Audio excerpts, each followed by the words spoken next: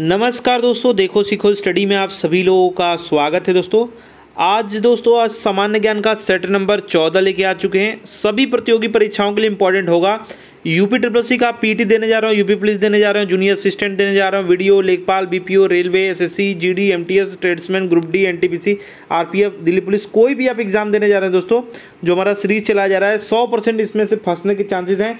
अगर आप क्वेश्चन का लेवल देखेंगे तो आपको खुद ही पता चलेगा। तो चलिए देखिए, सबसे पहला नंबर जो क्वेश्चन है, चौदह नंबर सेट का, अंबेडकर ए लाइफ, ये पुस्तक किसने लिखा है? जिन लोगों को पता है, कमेंट बॉक्स में बताते रहें।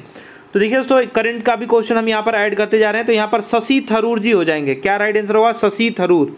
पुस्तक है, क्या नाम है? अंबेडकर ए लाइफ ठीक है? कुछ इंपॉर्टेंट पॉइंट्स ये लिख लीजिए कि जो डॉक्टर अंबेडकर का जीवन और मिशन जो है, उसके जो लेखक हैं, जीवन और मिशन डॉक्टर अंबेडकर जीवन और मिशन जब आ जाएगा तो याद रखेंगे, उनके जो लेखक हैं, वो है धनंजय। धनंजय, खेर या फिर खीर आता है, ठीक है? तो ये हैं याद रखिएगा, एक और जो है क्वेश्चन बनता है, क्या है? ये अंबेडकर ए लाइफ है, उसमें जीवन और मिशन रहेगा। क्या रहेगा? जीवन और मिशन। डॉक्टर अंबेडकर, जीवन और मिशन। ठीक है? ये क्वेश्चन बहुत इंपॉर्टेंट है। साथ ही साथ दोस्तों, जो है शशि थरूर द्वारा दोस्तों, जो है द ग्रेट इंडियन नोबेल पुस्तक जो है लिखी गई कब? उन्नीस सौ नवासी में। नेक्स्ट बात करेंगे, आईपीएल में किस टीम का हिस्सा रहते हुए अंबाती रायडू ने आईपीएल से संन्यास की घोषणा कर दिया? मतलब ये किस जो है, टीम में थे? तो चेन्नई सुपर किंग्स में थे दोस्तों। चेन्नई सुपर किंग्स में थे, ठीक है? और ये दोस्तों जो है, अबाती जो है, पूर्व भारतीय क्रिकेटर रह चुके हैं साथ ही साथ। इंपॉर्टेंट बात ये है, अबाती रायडू 2010 में 2000 2010 में दोस्तों जो है मुंबई इंडियंस मुंबई इंडियंस दोस्तों जो है आ, के साथ दोस्तों आईपीएल का करियर का शुरुआत इन्होंने किया था 2010 में लेकिन अभी संन्यास घोषणा चेन्नई सुपर किंग्स से किया है। नेक्स्ट बात करेंगे पूर्वोत्तर भारत की पहली पूर्वोत्तर भारत की पूछा जा रहा है पूरा भारत की नहीं ठीक है पूर्वोत्तर भारत की पहली दोस्तों जो है वंदे भारत एक्सप्रेस मई 2023 को क्योंकि करेंट का क्वेश्चन है इसलिए लाया गया यहाँ पर जो है, में किन दो शहरों के बीच चलाई गई? तो दोस्तों, जो है, गुवाहाटी और न्यू जलपाईगुड़ी, गुवाहाटी और न्यू जलपाईगुड़ी के बीच चलाई गई है। मई 2023 का करंट है, ठीक है, याद रखिएगा। सी इसका राइट आंसर हो जाएगा। वंदे भारत जो ट्रेन है, सबसे पहले, पहली जब बात करेगा, पूर्वोत्तर भारत नहीं, पूरी भारत की जब पहली बात करेगा, उसको याद कर लीजिए, ज़रूरी क्वेश्चन आ सकता है। क्या है डेट डेट है पंद्रह फरवरी को पंद्रह फरवरी 2019 को दोस्तों कहाँ से? दिल्ली टू क्या है? वाराणसी। जो है, दिल्ली टू वाराणसी चलाई गई थी। याद रखिएगा, वंदे भारत ट्रेन को ट्रेन 18 के नाम से भी जाना जाता है। ट्रेन 18 के नाम से भी जाना जाता है। ये भी पॉइंट याद रखेंगे। नेक्स्ट बात करेंगे, देश का नया जो है कानून एवं न्याय मंत्री मई 2023 में किसे नियुक्त किया गया है? तो मई 2023 का करंट है और दोस्तों जो किया गया है वो अर्जुन राम मेघवाल जी को किया गया है। इससे पहले कौन था? किरेन रिजिजू जी थे, ठीक है? किरेन रिजिजू जी थे। अब ये क्या हो गए हैं, ये भी याद रखेंगे, क्या क्या हो गए अब? अब हो गए हैं दोस्तों पृथ्वी विज्ञान मंत्रालय, इनको सौंपा गया है। पृथ्वी विज्ञान मंत्रालय, ठीक है? पृथ्वी विज्ञान मंत्रालय, ठीक है? अभी जो है कानून अगर एवं न्याय मंत्री पूछेगा मई 2023 से पहले का तो किरण रिजिजू जी याद रखेंगे, लेकिन अभी जो है करंट का क्वेश्चन है अर्जुन राम मेघवाल जी, ठीक है? चलिए नेक्स्ट बात करेंगे वनडे अंतर्राष्ट्रीय क्रिकेट में पंद्रह शतक पूरा करने वाले पंद्रह जो है, शतक पूरा करने वाले जो है, तीसरे सबसे तेज क्रिकेटर कौन बने हैं? तो तीसरे जो दोस्तों बने हैं, वो आपके बने हैं शाही होप, क्या नाम है? साई होप जी बने हैं, ठीक है? और ये दोस्तों जो है, वेस्ट इंडीज़ जो है, उसके दोस्तों जो है, क्रिकेट टीम के विकेट कीपर और बल्लेबाज हैं, ठीक है? और एक दिवसीय अंतर्राष्ट्रीय में कप्तान भी हैं। तो राइट आंसर इसका क्या हो जाएगा? साई होप, याद रखिएगा। पन, एक सौ पाँचवीं पारी में दोस्तों ये बनाए हैं, ठीक है? नेक्स्ट बात करेंगे। निम्न देशों में से एक आसियान का सदस्य नहीं है। इनमें से कौन सा है जो कि आसियान का सदस्य नहीं है? देखिए, याद रखिएगा, ASEAN. A, S, E, A, N, इसका फुल फॉर्म भी आता है। तो लिख लीजिएगा, association of South East Asian nations. क्या नाम है? एसोसिएशन, ठीक है? ए से हो जाएगा। ऑफ़ आपका South East. South East Asian nations हो जाएगा। याद रखिएगा, और इसका जो सदस्य नहीं है, वो है भारत। इसके कौन कौन से सदस्य हैं? तो दोस्तों जो है, इसकी घोषणा और स्थापना की बात किया जाए तो 8 अगस्त 8 अगस्त उन्नीस सौ सड़सठ, उन्नीस को दोस्तों हुई है। बैंकॉक घोषणा या फिर आसियान घोषणा, इसी को कहते हैं, स्थापना हुआ है। मुख्यालय जब पूछेगा तो जकार्ता याद रखिएगा। मुख्यालय जब पूछेगा तो जकार्ता याद रखेंगे और दस देश हैं, दस देश हैं। कौन कौन से हैं? एक तो ब्रूनोई है, फिर उसके बाद दोस्तों कंबोडिया है, याद रखेंगे। आपका कंबोडिया है, इंडोनेशिया है, लाओस है, मलेशिया है, म्यांमार है, फिलीपींस है, सिंगापुर है, थाईलैंड है, वियतनाम है। फिर से रिपीट कर दे रहा हूँ, जिनको लिखना लिख लीजिए। क्या है? ब्रूनोई है, कंबोडिया है, इंडोनेशिया है, लाओस है, मलेशिया है, म्यांमार है, फिलीपींस है, सिंगापुर है, थाईलैंड है वियतनाम है। तो ये आपके दस देश हैं, याद रखिएगा। इसका एक आदर्श वाक्य है, एक दृष्टि, एक पहचान और एक समुदाय। भारत इसका सदस्य नहीं है। नेक्स्ट बात करेंगे। गरीबों की कथकली किस नृत्य को कहते हैं? गरीबों की कथकली दोस्तों, जो कहते हैं, वो कहते हैं ओटनम तुल्लू को दोस्तों। ओटनम तुल्लू को दोस्तों जो है, ओटन तुल्लू सॉरी ओटन तुल्लू को दोस्तों कहते हैं गरीबों का नृत्य। ठीक है, याद रखेंगे। सी इसका राइट आंसर हो जाएगा। ठीक है? ऑप्शन नंबर में जो चाक्यार कुंत दिया है कुंथु कुत्थु बोलते हैं इसको ये एकल नृत्य है और दोस्तों स्वयं को सांप की तरह ये सांप की तरह इसको प्रस्तुत किया जाता है। चाक्यार कुंत पूछेगा तो ठीक है? मोहिनी अट्टम आप जानते हैं कई बार आ चुका है केरल का ये है शास्त्रीय नृत्य। ठीक है? और आ, कोयाटिकली दोस्तों जो है, ये कोयटम लिखा गया है। तो कोयटिकली दोस्तों जो है, ये पुरुषों और स्त्रियों का दोस्तों ये प्रस्तुत किया जाता है। खुशी के मारे दोस्तों ये केरल में जब अच्छी फ़सल होती है तो उस, उससे रिलेटेड ये है। नेक्स्ट बात करेंगे, प्रसिद्ध पुस्तक, a better India, a better world. ये दोस्तों जो है, किसके द्वारा लिखी गई है? तो दोस्तों ये जो है, नारायण मूर्ति जी के द्वारा एन आर नारायण मूर्ति जी के द्वारा लिखा गया है। क्या है? A better India, a better world. बहुत इंपॉर्टेंट है और एग्ज़ाम में आने की पूरी संभावना है। इन्फोसिस कंपनी के दोस्तों जो है, इन्फोसिस कंपनी के दोस्तों जो है, ये संस्थापक हैं, ठीक है? एन आर नारायण मूर्ति दोस्तों, भारत में सॉफ्टवेयर कंपनी आप जानते ही हैं। और ऑप्शंस में जो अजीम प्रेम जी हैं हैं, ये विप्रो के दोस्तों जो है, विप्रो के संस्थापक हैं। और दोस्तों, राजीव शिकरी जो लिखा हुआ है चैलेंज एंड स्टडीज़ दोस्तों जो रिथिंक इंडियाज़ फॉरेन पॉलिसी ये एक पुस्तक है इनकी। इसी इसीलिए ऑप्शन में लिया गया। साथ ही साथ दोस्तों जो है अजीम प्रेम जी का याद रखिएगा विप्रो के संस्थापक हैं। नेक्स्ट बात करेंगे यहाँ पर संतोष ट्रॉफी जो है किस खेल से संबंधित है?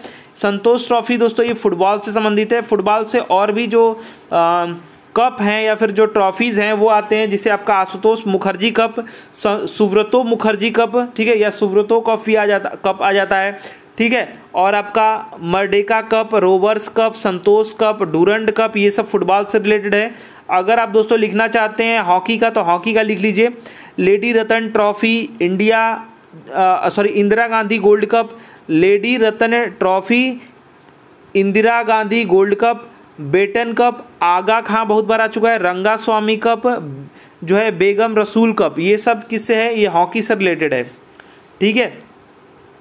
कुछ जो है, बैडमिंटन के कप हैं, वो आप लिख सकते हैं। इसमें से आपका ऑप्शन नंबर जो डी में दिया हुआ है तो आपका Amrit Diwan cup, Sudirman cup Sudirman cup हो गया रहीमतुल्ला कप हो गया, थॉमस कप, और आपके जो है, Konica cup, Narang cup, Chadha cup, ये सब बैडमिंटन से संबंधित है। ठीक है बॉस्टेट बास्केटबॉल का दोस्तों जो कप है, वो है लॉरियो ब्रॉयन कप ठीक है? चलिए नेक्स्ट बात करेंगे, चिकित्सा दिवस दोस्तों जो है, कब मनाया जाता है? चिकित्सा दिवस दोस्तों मनाया जाता है, याद रखेंगे, ये दोस्तों मनाया जाता है एक जुलाई को। एक जुलाई को चिकित्सा दिवस मनाया जाता है, क्यों मनाया जाता है? डॉक्टर विधान चंद्र रॉय जी का दोस्तों जयंती मनाया जाता है, ठीक है? डॉक्टर विधान चंद चंद जो है, राय जी का जयंती के रूप में मनाया जाता है। साथ साथ, एक जुलाई को दोस्तों जो है, स्टेट बैंक, एसबीआई का भी दोस्तों स्थापना हुआ है, ये भी याद रखेंगे। ठीक है? ग्यारह जुलाई जो ऑप्शन में दिया है, ये एक एक करके क्या है? जनसंख्या बढ़ जाता है तो ऐसे करके मैंने याद ट्रिक में करवा रखा है। ठीक है? वाचस्पति पुरस्कार दोस्तों क्यों दिया जाता है? किस चीज़ के लिए दिया जाता है? तो वाचस्पति पुरस्कार दोस्तों जो है, संस्कृत साहित्य में दिया जाता है। वाचस्पति बात ही ऐसा है कि आपको लगेगा संस्कृत का शब्द है। तो ऐसे आप याद कर सकते हैं और दिया जाता है बिड़ला के के बिड़ला फाउंडेशन के द्वारा, ठीक है? के के बिड़ला फाउंडेशन के द्वारा दोस्तों ये दिया जाता है और इसकी स्थापना दोस्तों वाचस्पति पुरस्कार का उन्नीस सौ बानवे में दोस्तों ये की गई है, ठीक है? संस्कृत में दिया जाता है। साथ ही साथ जब भी साहित्य अकादमी आएगा, याद रखिएगा, साहित्य अकादमी जब भी आता है तो 24 भाषाओं में दिया जाता है। साथ ही साथ दोस्तों ये 22 भाषा दोस्तों जो हैं वो हमारे आठवीं अनुसूची के हैं और दो आपके राजस्थानी और इंग्लिश और एड हैं। संस्कृत भाषा के लिए दोस्तों, साहित्य जो है अकादमी प्रथम जो पुरस्कार मिल चुका है, वो 1955 में 1955 में दोस्तों जो है, मिल चुका है, किसे मिला है? लक्ष्मण शास्त्री जी को, लक्ष्मण शास्त्री जी को मिला हुआ है, ठीक है, याद रखिएगा। और साहित्य अकादमी जो है, के अंतर्गत ही बाल साहित्य पुरस्कार और जो है, युवा पुरस्कार दिया जाता है। नेक्स्ट बात करेंगे, प्रदूषण में सूचकांक, जो है एस पी एम का पूर्ण रूप, यानी फुल फॉर्म बताना है। एम का जो फुल फॉर्म होता है दोस्तों, वो आपसे पूछा जा रहा है। तो होता है सस्पेंडेड पार्टिकुलेट मैटर तो यहाँ पर ऑप्शन नंबर जो बी में दिया है, देखिए सस्पेंडेड पार्टिकुलेट जो है मैटर इसका राइट आंसर हो जाएगा। ठीक है? इसमें क्या क्या चीज़ें रिलेटेड होती हैं? देखिए दोस्तों, वायु में जो ठोस धुएँ और धूल के कण हैं, ये सब दोस्तों जो है, फेफड़े को हानि पहुंचाते हैं। इसमें कुछ जो है नाम है, जैसे कि carbon monoxide, carbon dioxide, chloro chlorofluorocarbon ozone आदि। दोस्तों जो है, ये सब क्या है? ये वायु प्रदूषण के मुख्य कारक हैं। दोस्तों, अगर बात करें प्रदूषण निवारक एवं नियंत्रक, यानी भारत में राष्ट्रीय पर्यावरण नीति जो है, ये बनाता है प्रदूषण निवारक एवं नियंत्रक। ये अधिनियम लागू हुआ है। कब हुआ है? ये 26 मार्च को। 26 मार्च को दोस्तों जो है, आपका उन्नीस सौ चौहत्तर में, उन्नीस सौ चौहत्तर में, ठीक है? याद रखिएगा ये भी। नेक्स्ट बात करेंगे, मानव पर्यावरण सम्मेलन। 1972 कहाँ आयोजित हुआ? तो ये कई बार एग्ज़ाम में आ चुका है। यूपीएसआई अधिकतर एग्ज़ाम में ये कभी कभी पूछ लिया जाता है। तो जो हुआ था आपका सम, जो सम्मेलन हुआ था स्टॉक होम में हुआ था। कहाँ पर? स्टॉक होम होम में हुआ था। मानव पर्यावरण सम्मेलन ठीक है उन्नीस सौ बहत्तर में हुआ था। इस सम्मेलन में दोस्तों 119 देश शामिल रहे। और देशों ने दोस्तों क्या कहा? इसमें प्रसिद्ध जो है सिद्धांत को स्वीकारा है। उसका नाम है सिद्धांत वो है एक ही पृथ्वी ठीक है? वन अर्थ कह सकते हैं इसको। तो एक ही पृथ्वी दोस्तों जो है ये आ, मतलब इसको स्वीकारा और इस सम्मेलन में दोस्तों जो है आप जानते हैं पाँच जो है पाँच जून को पाँच जून को क्या मनाया जाता है? पर्यावरण दिवस मनाया जाता है दोस्तों ठीक है? और उन्नीस सौ चौहत्तर को दोस्तों ये शुरू किया गया था। उन्नीस सौ चौहत्तर को स्टार्ट किया गया था ठीक है? पेरिस जलवायु समझौता जब पूछा जाएगा तो 2015 याद रखिएगा। नेक्स्ट बात करेंगे। राष्ट्रीय भौतिक प्रयोगशाला कहाँ स्थित है? इसको आप कई इससे क्वेश्चन आते हैं। जैसे देखिए, भौतिक पूछेगा तो नई दिल्ली लगाएँगे, ठीक है? और जब रासायनिक पूछ दे, यहीं पर भौतिक की जगह पे क्या लिख दे? रासायनिक, राष्ट्रीय जो लिख दे कि राष्ट्रीय रासायनिक। जब भौतिक लिख दे तो आप क्या करेंगे? नई दिल्ली ठीक है, कहाँ स्थित है? तो नई दिल्ली इसका राइट आंसर हो जाएगा। लेकिन जब रासायनिक पूछ दे तो याद रखेंगे पुणे। पुणे, पुना, जो भी आप बोलते हो। ठीक है? पुणे हो जाएगा। और ध्यान दीजिएगा, जब पूछ दे भौतिकी, राष्ट्रीय या फिर भौतिकी अनुसंधान प्रयोगशाला, इसमें जब अनुसंधान लग जाए, अनुसंधान लग जाए जब अनुसंधान इसमें लग जाए तो आप अहमदाबाद, गुजरात करेंगे। क्या हो जाए? अहमदाबाद, गुजरात। और औषधि जब पूछा जाए, औषधि एवं जो है विश्व तो ये लखनऊ याद रखेंगे। और राष्ट्रीय समुद्र विज्ञान जब पूछा जाए तो संस्थान तो आप गोवा पणजी याद रखेंगे। तो कुछ जो इम्पोर्टेंट है, एक तो आप लखनऊ वाला भी याद रखिए। लखनऊ वाला क्या है? लखनऊ वाला जो है, वो आपका है रा, राष्ट्रीय या फिर जो आ आ जाएगा आपका औषधि एवं विश्व विज्ञान संस्थान। क्या है? औषधि एवं विष की जब बात करेगा तो लखनऊ याद रखेगा चलिए इस क्वेश्चन में क्या क्या हमने पढ़ा? राष्ट्रीय भौतिक जब प्रयोगशाला कहाँ पूछा जाएगा तो आप करेंगे नई दिल्ली। जब राष्ट्रीय जब भौतिक जगह पे रासायनिक आ जाएगा तो पुणे करेंगे। प्रयोगशाला कहाँ स्थित है अगर पूछ दिया जाए। अगर यहीं पर राष्ट्रीय जब आ जाएगा अनुसंधान भौतिक प्रयोगशाला था अहमदाबाद, गुजरात करेंगे। और औषधि और विष वाला आ जाएगा तो लखनऊ करेंगे। समुद्र वाला आ जाएगा तो गोवा, पड़जी। पड़जी कर देंगे, गोवा। नेक्स्ट बात करेंगे, आंग, सांग, सुंग की। ये कहाँ की जो है, मूल निवासी हैं। तो याद रखिएगा, आंग नाम से ही पता चला है, म्यांमार इसका राइट आंसर हो जाएगा। क्या नाम है? आंग, सांग सुंकी दोस्तों, जो है, ये म्यांमार की राजनेता और राजनयिक और लेखक हैं। ठीक है? इन्होंने क्या किया? लोकतंत्र के लिए दोस्तों जो है वर्मा या फिर कहिए कि राज अरे म्यांमार तो वर्मा कहिए या म्यांमार कहिए ठीक है? इसमें लोकतंत्र की स्थापना के लिए काफ़ी संघर्ष किया और इंपॉर्टेंट ये है कि उन्नीस सौ इक्यानवे में इसको दो, इनको दोस्तों जो है शांति का नोबेल पुरस्कार से सम्मानित किया गया। याद रखिएगा नोबेल पुरस्कार जो है से सम्मानित है इसलिए पूछा जा रहा है। चलिए नेक्स्ट जो क्वेश्चन है हड़प्पा सभ्यता किससे संबंधित है? तो हड़प्पा सभ्यता जानते हैं, इसको एक कहते हैं कांस्य युगीन सभ्यता। क्या कहते हैं? कांस्य युगीन सभ्यता भी कहते हैं तो ए इसका राइट आंसर हो जाएगा। बाकी तो बहुत चीज़ें हैं हड़प्पा के बारे में बताने के लिए। चलिए, कई हमने सेट में करा रखा है और भी आगे ले लेंगे। नेक्स्ट बात करेंगे, निम्न में से बेमेल कौन है? मतलब गलत कौन मिला हुआ है? तो इसमें से दोस्तों जो गलत मिला हुआ है, वो है आपका एका आंदोलन। ये आपका क्या है? ये 1921 से लेकर के 22 है। अच्छा चलिए इसको बाद में बताएँगे। पहले इलाहाबाद की संधि, ये सब दिया है, बहुत इंपॉर्टेंट है। तो इलाहाबाद की संधि जब आ जाए तो याद रखेंगे 12 अगस्त। ठीक है, लिखा हुआ है, सत्रह सौ पैंसठ, बिल्कुल सही है ये। तो यहाँ पर बेमेल मैंने गलत वाला बताना था तो गलत आपका सी हो जाएगा, लेकिन ये सब इंपॉर्टेंट है, इसलिए बता रहा हूँ। ये हुआ था रॉबर्ट क्लाइव, लिख लीजिएगा, रॉबर्ट क्लाइव और जो है मुगल सम्राट, ठीक है? शाह आलम द्वितीय, शाह आलम द्वितीय सेकंड के बीच, ठीक है? कौन सा? इलाहाबाद की संधि। अच्छा मंगलौर की संधि याद रखेंगे, ये टीपू सुल्तान के बीच हुआ है। टीपू सुल्तान का दोस्तों, साथ हुआ है टीपू सुल्तान और ब्रिटिश ईस्ट इंडिया कंपनी के साथ। तो ब्रिटेन कर दे रहा हूँ मैं, ठीक है? टीपू सुल्तान और ब्रिटेन के साथ 11 मार्च, ठीक है? अच्छा यहाँ पर आ जाता है। Native marriage act. Native marriage act क्यों इंपॉर्टेंट है? तो दोस्तों, ये जो है, इसमें सबसे पहले बताया गया था कि चौदह साल से, चौदह साल से अगर जो है छोटी लड़की है मतलब कन्या है तो इसके लिए मना किया गया था शादी के लिए, ठीक है? कन्याओं के विवाह के लिए, ठीक है? चलिए तो इसमें जो अब हमारा ये सब हमने बता दिया। मेन यहाँ पर एका आंदोलन दोस्तों जो है ये आपका 2000 अरे 1921 से लेकर के 22 है और किसानों द्वारा दोस्तों ये चलाया गया था। इसका नेतृत्व तो दोस्तों जो है नेतृत्व तो जो किए थे वो है उनका नाम याद रखिएगा मदारी पासी मदारी पासी ठीक है? ये लगान और गैर कानूनी तरीके से जो खेत को छीन रहे थे आ, आ, मतलब अंग्रेज़ लोग तो उसके लिए ये था ठीक है? नेटिव भी आपको बता दिया। नेटिव वाला का एक और था कि जो भी शादी हो रही थी बहुपत्नी वाला प्रथा, इसे भी समाप्त किया गया था। नेक्स्ट बात करेंगे, कौटिल्य का अर्थशास्त्र जो है, किस पहलू पर प्रकाश डालता है? तो कौटिल्य का अर्थशास्त्र तो नाम है, ठीक है, इन्हीं विष्णुगुप्त कौटिल्य और चाणक्य, सब एक ही व्यक्ति का नाम है, आप जानते ही हैं तो इतना तो सभी लोग जानते हैं। तो दोस्तों, ये अर्थशास्त्र है, लेकिन इसमें बताया गया है कि राजनीति कैसे चलाना है। ठीक है, पैसे का उतना वो सब नहीं है, लेकिन एक व्यवस्था है पूरी।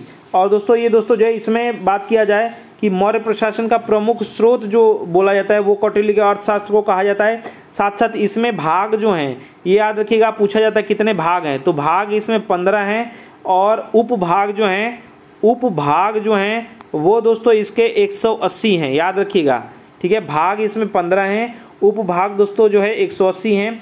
चाणक्य या फिर कौटिल्य जो भी कहिए इनको, ये तक्षशिला विश्वविद्यालय में छात्र एवं शिक्षक दोनों की भूमिका का निर्वहन किए हैं। नेक्स्ट बात करेंगे, किस वर्ष बाबर ने सुल्तान इब्राहिम लोदी को पानी पद की लड़ाई में पराजित किया, हराया? तो देखिए, यहाँ पर हम कैसे एक ट्रिक से याद करते हैं। 26 में पानी पिया 27 में क्या किया? खाना खाया। तो क्या हो जाएगा? 26 में क्या हो जाएगा? 1526 में जो है पानी, पद का युद्ध, क्योंकि पानी पिया था। और सत्ताईस, पंद्रह सौ सत्ताईस में क्या जाएगा? खाना खाया था यानी खानवा का युद्ध।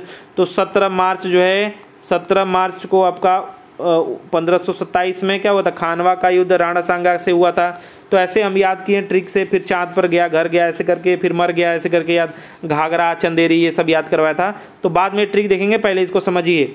ये सल, जो सुल्तान इब्राहिम लोदी से जो है बाबर लड़ा था कब यहाँ पर गलत हो जाएगा। ये छब्बीस में और सत्ताईस में क्या हो जाएगा? सत्ताईस में खानवा हो जाएगा। ठीक है, खानवा हो जाएगा इसमें राणा संगा के साथ। दोस्तों देखिए, इस बाबर के जीतने का जो तरीका है, वो दोस्तों जो है तोप है। अधिकतर चीज़ें जो है तुगलमा नीति है का आता है, या पद्धति। तुलुगमा। तुलुगमा पद्धति, ये क्या कहता है? तोप, इनके कुछ तोपांची हैं या फिर कहिए कि तोप चलाने वाले तुपाची तो उनका भी नाम कई बार एग्ज़ाम में आता है। एक तो मुस्तफ़ा हैं,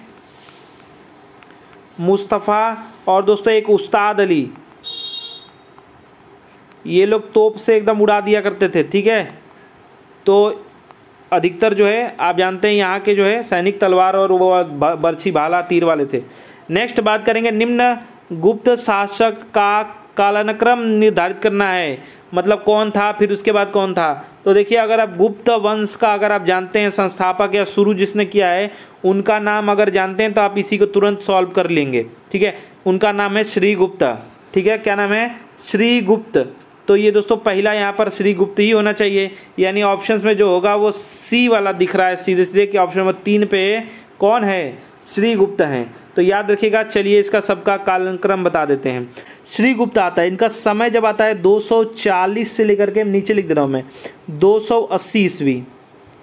ठीक है? उसके बाद दूसरा कौन है? इसके बाद दोस्तों दूसरा जो आते हैं, वो आपके आते हैं चंद्रगुप्त प्रथम। तो चंद्रगुप्त आपका दिया ही है। तो प्रथम दोस्तों यहाँ पर हो जाएगा तो आपका हो जाएगा, क्या हो जाएगा यहाँ पर? तीन सौ उन्नीस। तीन सौ उन्नीस से पैंतीस, ठीक है? फिर उसके बाद दोस्तों आते हैं समुद्रगुप्त, जो कि ऑप्शन में ही नहीं है। तो समुद्रगुप्त का जो है, आप लिख लीजिए 335 के बाद, यानी 335 के बाद, क्योंकि एग्ज़ाम में समुद्रगुप्त से रिलेटेड बहुत क्वेश्चन आते हैं 375 याद रखिएगा, ठीक है? फिर उसके बाद आते हैं रामगुप्त, ठीक है? तो ये आपका 375 हो जाएँगे 375 और फिर आपका स्कंदगुप्त लास्ट में आते हैं, यानी कि आपका 455 से सड़सठ। ठीक है, पचपन है ये। इस भी है सब। तो सबसे पहले इसके अनुसार समुद्रगुप्त को मान लीजिए, हटा दीजिए, ऑप्शन में ही नहीं है तो। तो सबसे पहले हम क्या लेंगे? श्री गुप्त लेंगे। यानी ऑप्शन नंबर तीन जहाँ पे होगा, पहले में वही आंसर हो जाएगा। फिर उसके बाद क्या हो जाएगा? उसके बाद दोस्तों चार ही ऑप्शन है ना? ये तो है नहीं समुद्रगुप्त वाला तो है नहीं। तो श्री गुप्त के बाद अगर आप देखेंगे तो चंद्रगुप्त प्रथम आएँगे। ठीक है? तो आपका एक होना चाहिए, बिल्कुल ठीक है। उसके बाद रामगुप्त होना चाहिए, फिर स्कंदगुप्त होना चाहिए। तो रामगुप्त है ही दूसरा और आपका चौथा स्कंदगुप्त है। यानी कि राइट आंसर आपका सी हो जाएगा। ये कालानुक्रम देख लीजिएगा। ये बहुत बार सेट करने के लिए हरर्की आता है। नेक्स्ट बात करेंगे। सत्रह में बक्सर का जो युद्ध हुआ है, इसके समय बंगाल का गवर्नर कौन था? ये पूछा जा रहा है, बहुत इंपॉर्टेंट क्वेश्चन है। तो जो बंगाल का गवर्नर था दोस्तों, वो था वेंसीटॉट। कौन था? वेंसीटॉट। वेसीटॉट लिखा गया है। ठीक है, ये 1760 से लेकर के पैंसठ तक था। 1760 से लेकर के पैंसठ था पैंसठ तक था दोस्तों बंगाल का गवर्नर। ठीक है, यही पूछा जा रहा है। तो सी इसका राइट आंसर हो जाएगा। बक्सर का जो युद्ध हुआ था, याद रखेगा इसमें ब्रिटिश सेना की तरफ़ से जो था, वो मुनरो ने। क्या नाम था इनका पूरा नाम? Thomas Hector Munro. इसने जो है, टॉमस हेक्टर मुनरो, इसको लिख ले, लिख लीजिएगा अपने लैंग्वेज में। और दूसरी तरफ़ जो थे, वो बंगाल के नवाब, याद रखिएगा, नवाब मीर कासिम, अवध के नवाब बंगाल के नवाब जो थे वो मीर कासिम थे अवध के जो नवाब थे सिराजुद्दौला और मुगल बादशाह भी थे। मुगल बादशाह कौन था? मुगल बादशाह दोस्तों जो है, आपके शाह आलम द्वितीय ये तीनों लोग लड़े थे और तीनों लोग जो है, अंग्रेज़ों से पराजित हो गए थे, ठीक है? इसके बाद उत्तर भारत पे अंग्रेज़ों का शासन माना जाता है, या फिर कहिए आधिपत्य होने लगा। नेक्स्ट बात करेंगे, भारतीय राष्ट्रीय कांग्रेस की पहली बैठक किस शहर में हुई? तो कई बार हमने इसको करा रखा है, ये बम्बई में हुई है। कहाँ पर? बम्बई उस समय नाम था बम्बई और 28 दिसंबर को दोस्तों जो है, अट्ठारह पचासी। में दोस्तों बम्बई में हुआ। इसमें दोस्तों प्रथम जो अध्यक्ष नाम आता है, वो याद रखिएगा, वोमेश चंद्र बनर्जी। वोमेश चंद्र बनर्जी। बहुत बार पूछा गया है वोमेश चंद्र बनर्जी हैं, ठीक है? याद रखिएगा, और इसमें बहत्तर सदस्यों ने दोस्तों जो है भाग लिया था। कांग्रेस के सबसे युवा अध्यक्ष पूछा जाए तो मौलाना अबुल कलाम आज़ाद। ठीक है? मौलाना अबुल कलाम आज़ाद याद रखिएगा, बहुत इंपॉर्टेंट है। और दूसरा जो सम्मेलन हुआ इसी के एक साल बाद, यानी छियासी में, और वो कहाँ हुआ? कलकत्ता में, ठीक है? अट्ठारह में दूसरा हुआ है। ये दूसरे, दूसरा जो सम्मेलन हुआ, इसमें अध्यक्ष कौन थे? देखिए, पहले में वोमेश चंद्र बनर्जी थे, ठीक है? और दूसरे में थे दादा भाई नौरोजी, ठीक है? दादा भाई नौरोजी थे दूसरे में, याद रखिएगा। चौथा जो अधिवेशन हुआ है, वो आपका इलाहाबाद में हुआ है, ठीक है? और दोस्तों, इसके जो अध्यक्ष थे वो जॉर्ज जूले थे। अब प्रथम ये अंग्रेज़ अध्यक्ष थे। और सबसे ज़्यादा जो अध्यक्ष पद पर रहने वाली सोनिया गांधी जी हैं। नेक्स्ट बात करेंगे, भूदान आंदोलन किसने स्टार्ट किया था, किसने शुरू किया था? तो जानते हैं, इसमें जो मेन नाम आता है, बिनोवा भावे जी का, इनको संत के नाम से भी जानते हैं, संत बिनोवा भावे। इन्होंने दोस्तों जो है आप सभी लोग जानते हैं, जो है, क्या किया था? जो है भूदान आंदोलन जो भी जिनके पास ज़्यादा ज़मीनें थे, उनसे आग्रह किया गया था कि भूमि को दान करें। ये दोस्तों, आज़ादी के बाद भी ये चलता रहा, ठीक है? व्यक्तिगत जब स्टार्ट हुआ था 17 अक्टूबर जो है 1940 से स्टार्ट हुआ था। लेकिन दोस्तों, जो है, इसमें कुछ लोग व्यक्तिगत जो सत्याग्रह हुआ था 1940 में 17 अक्टूबर को, इसमें दोस्तों, जो गिरफ़्तार कर लिए गए थे प्रथम व्यक्ति बिनोवा भावे जी, दूसरे व्यक्ति जो है, पंडित नेहरू जी, तीसरे व्यक्ति सत्याग्रही ब्रह्मदत्त जी। ये तीनों लोग जो है गिरफ़्तार कर लिए गए थे। ठीक है? और जो नाम है आपका जयप्रकाश नारायण जे पी नारायण जिनको कहते हैं, ये 1942 में क्रांति के दौरान दोस्तों जो है 9 नवंबर 1942 में हजारीबाग में जेल में अपने साथियों के साथ भाग करके नेपाल के जंगल के रास्ते जा करके और आज़ाद दस्ता का निर्माण कराया था इन्होंने। क्या बनाया था? आज़ाद दस्ता का निर्माण कराया था। ठीक है? और आप जानते हैं उन्नीस सौ चौहत्तर में दोस्तों जो है संपूर्ण क्रांति जो है जयप्रकाश नारायण द्वारा किया गया था, ये भी याद रखिएगा। उसी के बाद देखते हैं बहुत सारे जो है पार्टीज़ का धीरे धीरे बन गया। चलिए नेक्स्ट बात करेंगे। भारत में ईस्ट इंडिया कंपनी का पहला जो है गवर्नर जनरल कौन था? पहला जो है वॉरेन हेस्टिंग, बहुत बार एग्ज़ाम में आ चुका है, वॉरेन हेस्टिंग, ठीक है? ईस्ट इंडिया कंपनी की स्थापना पूछा जाए तो पंद्रह सौ निन्यानवे ईस्वी या ऑप्शन में नहीं है तो सोलह सौ ऑप्शन में होगा, ठीक है? तो पंद्रह सौ निन्यानवे ईस्वी याद रखिएगा, ठीक है? जो है रॉबर्ट क्लाइव ने दोस्तों भारत में अंग्रेज़ी राज्य स्थापित करने का श्रेय इनको दिया जाता है रॉबर्ट क्लाइव को, और रॉबर्ट क्लाइव जो ऑप्शन में दिए हुए हैं इन्होंने दोस्तों जो बंगाल में द्वैत शासन शुरू किया। वॉरेन हेस्टिंग की बात करेंगे तो इसके कार्यकाल में एक तो सत्रह में कलकत्ता में मदरसा की स्थापना हुई है और इन्हीं के समय में सत्रह सौ चौहत्तर में, सत्रह में दोस्तों जो है सुप्रीम कोर्ट की स्थापना हुई है कहाँ पर? कलकत्ता में। ठीक है? याद रखेंगे। और जो पंद्रह वाला है, उस समय मुगल साम्राज्य जो है अकबर था। नेक्स्ट बात करेंगे। आज़ाद हिंद फौज का गठन कब हुआ? तो आज़ाद हिंद फौज का जो गठन हुआ है, वो एक सितंबर एक सितंबर आपका 1942 में। और नाम दो आता है, एक तो आपका सुभाष चंद्र बोस जी का नाम आ जाता है, लेकिन नाम जो है, आप याद रखेंगे, गलती मत करिएगा, कैप्टन कैप्टन मोहन सिंह, याद रखेंगे। आज़ाद हिंद फौज का जो गठन हुआ है, उसका गठन किसने किया है? कैप्टन मोहन सिंह जी। जब ये ना हो, तब लगाए करिए, ठीक है? तो एक सितंबर 1942 याद रखिएगा, ठीक है? बंद आज़ाद हिंद फौज के दोस्तों, बंदी सैनिकों पर लाल किला मुकदमा। दिल्ली केस दोस्तों, नवंबर 45 में चलाया गया, याद रखिएगा। कुछ इंपॉर्टेंट पॉइंट्स हैं, जैसे कि आपका आज़ाद हिंद फौज के अधिकारी P K Sahgal Sahgal, colonel Gurudayal, Dhillon एवं मेजर जो है, सहनबाज खां, इन पर दोस्तों मुकदमा चलाया गया। ठीक है? तो देखिए दोस्तों, ये आपका सेट नंबर आपका चौदह था सामान्य ज्ञान का। आशा करते हैं दोस्तों कि हमारा प्रयास, हमारा वीडियो पसंद आएगा वीडियो को अधिक से अधिक लाइक शेयर कीजिएगा और ऐसे ही प्रैक्टिस सेट सॉल्व करने के लिए इस चैनल को सब्सक्राइब करके बेल आइकन को ऑन कर दीजिए। हमारा वीडियो देखने के लिए धन्यवाद। प्लीज़ लाइक एंड शेयर धन्यवाद।